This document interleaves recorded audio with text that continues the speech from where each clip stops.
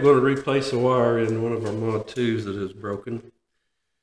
So we just pull out that end and we will pull out this end. You may have to grab it with the cutters.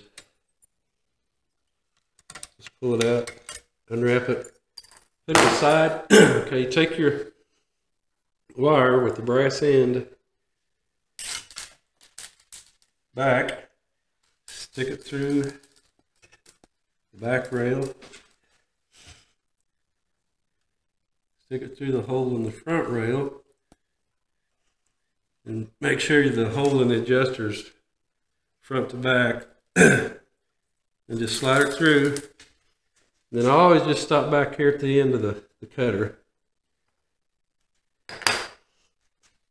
Grab a hold of the wire, just hold it up in front of you. Then start turning counterclockwise.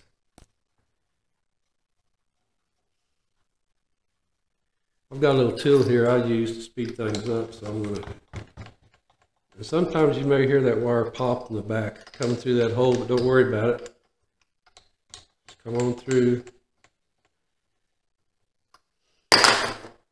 Then you just cut the wire off as close as you can with a tuner. Then you just you know, adjust your wires to where they have about that tune right there. You're ready to go. We just replaced the wire in the Mod 2 cutter.